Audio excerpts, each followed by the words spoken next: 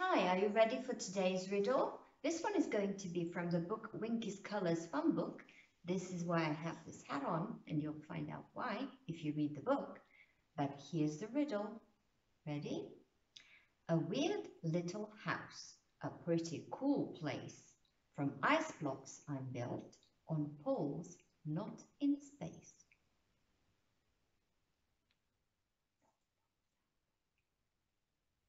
an igloo.